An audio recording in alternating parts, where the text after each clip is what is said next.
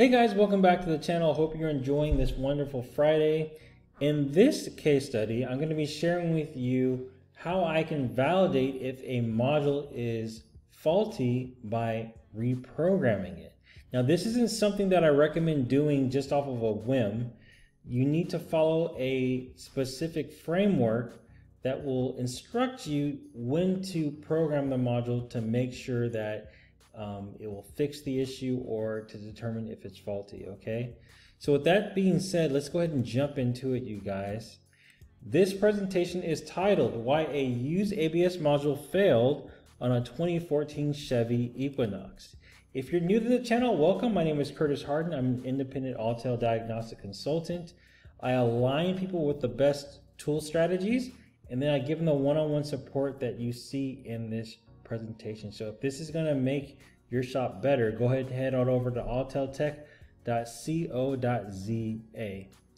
Now, what you're going to be learning today is the tools used in this case study. We're going to be defining the C056D error code, and we're going to be deciphering the need to program a module, okay? And lastly, the step-by-step -step process of programming and coding, okay? Now, what we used are the following your Windows 10 laptop, your MaxiSys Ultra, and the VCMI as your pass-through device, the use brake control module or your ABS module, and your battery maintainer. Okay, so to give you guys a little bit of background, the client is an auto mechanic at a car dealership, and he reached out to me about the use brake control module that he installed. Okay, attempting to configure the module using the MaxiSys Ultra but faced persistent issues with a error code that wouldn't go away. Okay, so he sought my expertise to guide him through programming um, the module using the GM TechLine Connect software, and that's what I'm going to show with you guys. Okay. So the brake control module. So this bad boy does a lot more than just stop your car. It has a bunch of features like ABS traction control, and even hill start assist to make sure you ride uh, smoother and safer. Now, the code that we found is called a C056D, and this is electronic control unit hardware, okay? If you see this code, it's, it's a red flag, and um, reason being is because like if you look at this symptom, system, uh, symptom byte list, okay? Um, this is like a secret language for the engineers to have a deeper look into what's going on, but this is basically something that is internal, okay? It's nothing that we can fix, um, you know, with our limited knowledge, okay? Now, this code will come up every time you start the car, the ECU will do a quick self-test, okay? So just imagine like it's taking its own temperature and then when something goes off, boom, you'll get the code, okay?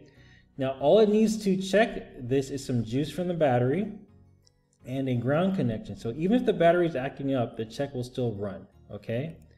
Now, the first thing I did was I put this error code in the repair information and I wanted to see the workflow um, that it gave me. So if you look here, you know, three says if the DTC is set uh, in the device that can be programmed, program the device that set the DTC. Okay. And then we read further to step four, if the DTC is set in a device that cannot be programmed, um, replace the device that set the DTC. Okay. So basically, if we program it, and it doesn't work, we need to replace it. Okay. If it won't let us program it, then it also needs to replace. Okay. Now, what I also did too um, is I wanted to check uh, the uh, procedure on what needs to be done after you install a uh, brake control module. Okay. And you can see here there's two uh, procedures. There's the programming procedure there's the coding or configuration procedure. Okay, so that's what we need to keep in mind.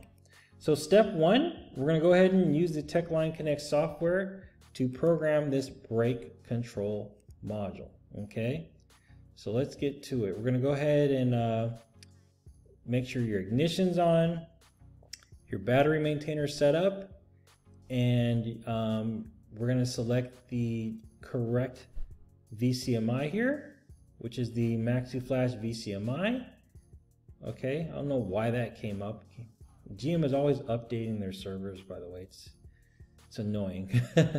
so you can see here we have um, a summary of our vehicle. And I'm going to go ahead and click the SPS2 uh, menu.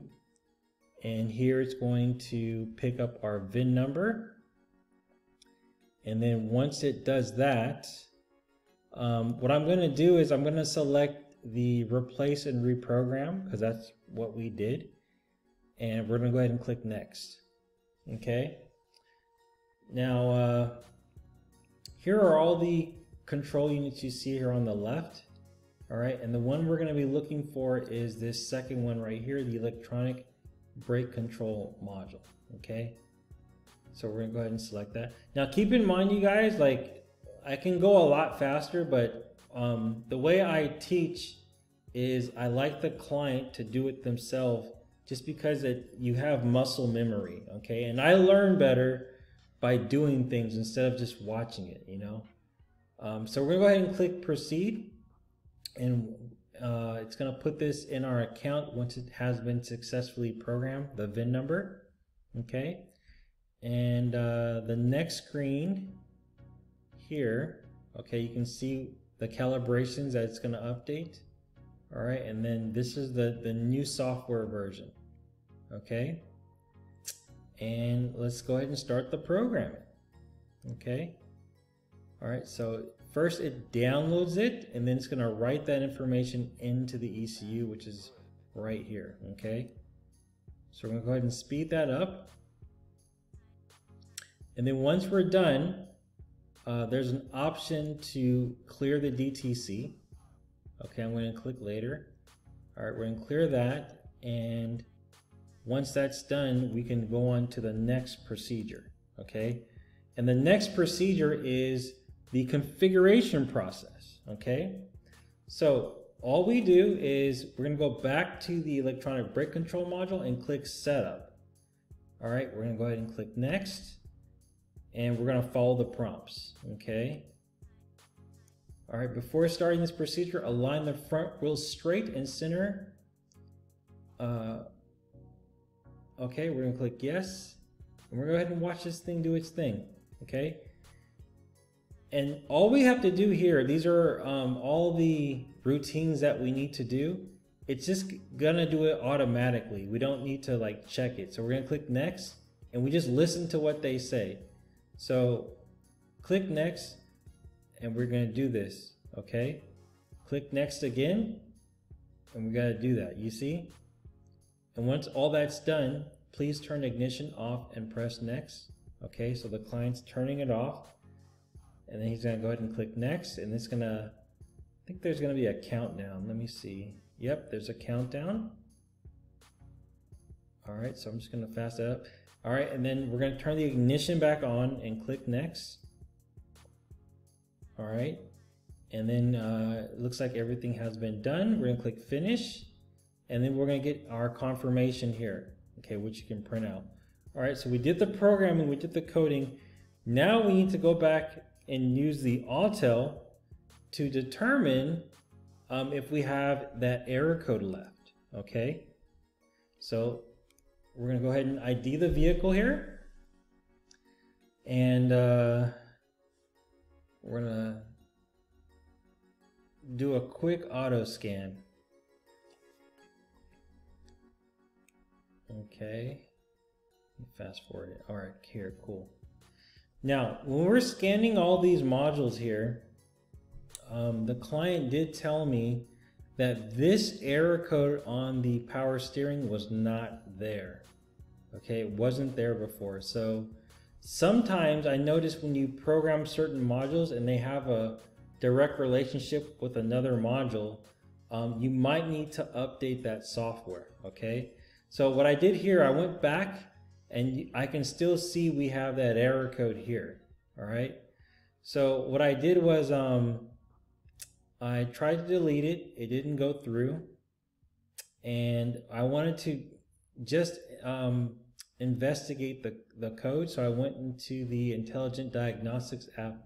I wanted to see you know what TSBs that were there. Now this is quite handy because having this type of data in front of you can streamline your, your workflow. All right. It, you know, you don't necessarily have to go back to your, your laptop and stuff. Um, but here are the possible solutions. And it says test the control module, update it, or replace if necessary. Okay. So um, that's what we did. And I'm, I'm just, you know, going through a couple screens to see if I can get some data. Okay. Um, this is in the power steering. All right. And um, I think I actually go into the power steering. I'm gonna go fast forward it, you guys. Okay, here's one here. Let me let me go back. All right, you see this here? It says check the uh, power steering control module for codes. If the C0560 is stored, reprogram the PCM to the latest software calibration. Okay, um, and yeah, when I go into the power control module, it, it said here, lost communication with electronic brake control module. So there is a core relationship with it. All right, and I looked at the, uh, uh, I think I looked at the TSB on this one as well. All right, yeah, both of these need to be addressed. All right, so what I'm gonna do now at this point is uh, I'm gonna update this module and just see if that fixes the issue, okay? So let's go ahead and go back to the TechLine Connect software and reprogram the PCM, P, PSCM, all right? So we're back here. We're gonna select electronic power steering and we're gonna go to programming, okay? And once that's done, we're gonna go ahead and click next on the bottom right. Okay, all right, so there's a little summary here da da da da. We're gonna click start programming. Okay, so it downloads it and then it's gonna write that calibration file onto the ECU. All right, and here's our confirmation page. All right, I'm gonna go ahead and clear the DTCs. All right, and then we're done with that, okay? So now I'm gonna go back to the MaxiSys Ultra and see if this indeed fixed the issue in the uh, power steering control module and the electronic brake control module. Okay, so you can see we, we don't have any error codes there, but we still have one in the electronic brake control module. So if I go back into it, you can still see we have this hard code fault in the module, all right? So it's safe to say that this module is indeed faulty, okay? Now, quick summary, if your module has a C056D, it's probably an internal hardware issue, okay? It's not a good code to have, all right? And the only time I attempt to program a module is when I'm instructed to do so, okay? Um, I had some clients, sometimes they'll have a problem and they'll come to me and say, Kurt, what if we just reprogram it? Well, sometimes that error code is a hardware related code, meaning like um, maybe there's an underlying condition and if it's not communicating, programming is not going to solve anything. So only do it when you're instructed to, okay? And third, sometimes when you reprogram a module, other related modules may also need to be updated to the same software level, okay? So sometimes the manufacturer will tell you this. Um, other times you'll see in our case, we programmed one, another one was out of date and it, instructed us to program that one to get everything back on the same software level, okay? And then if you work on GM, they give you 24 months per VIN number. So you can install the donor module without buying another subscription. Okay. I spelled subscription wrong, but yeah, you can buy another subscription and this is cool. I mean, um, That way you don't have to pay, what is it, 50 bucks now? They're raising their price, okay? So that's pretty much it, you guys. Um, if you enjoyed this presentation, comment, like, subscribe. And if you would like for me to uh, set you up with any training for J2534, head on over to auteltech.co.za and book the J2534 training consultation service, and I'll get you squared away like I did with my client. Okay? So, with that, have a wonderful weekend, guys, and take care, and I'll see you guys in the next one. Cheers.